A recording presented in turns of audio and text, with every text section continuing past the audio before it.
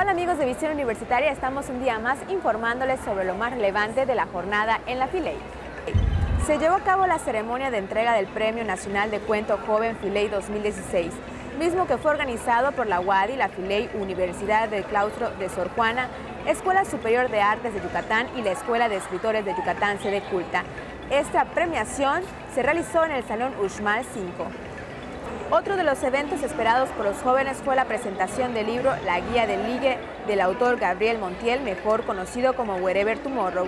Esta guía es un libro de consejos sobre el arte de salir bien librado en el complicado mundo del amor. Con gran éxito se presentó El Poder de tu Belleza, segundo libro de Lucy Lara, que invita a las mujeres a encontrar su belleza interna para que ésta se refleje por fuera. Presentó Lika y Katia Monforte acompañadas de la autora. El libro Milena o el fémur más bello del mundo del autor Jorge Cepeda Patensor, ganador del premio más importante de Iberoamérica, fue presentado en esta feria.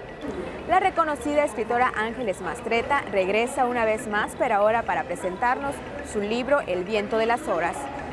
Aquí se reviven emociones que hacen que el tiempo se dilate y reflexiones en torno a grandes temas universales como la juventud, la belleza, el amor, la muerte y sobre todo el paso inevitable de los años. Otro evento importante fue Los Jóvenes Si Leemos, conociendo a booktubers en Yucatán que platicaron la manera de dar a conocer las obras literarias de su preferencia. La mesa de booktubers ganadores reunió a los mejores presentadores de libros a través de videos.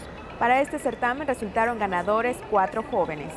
Pasillos del Centro de Convenciones Yucatán Siglo XXI sirvieron como escenarios para el segundo gran intercambio de libros, compartiendo letras organizados por el Club de Lectores y la Filey. Y le reitero mi agradecimiento por sintonizarnos un día más.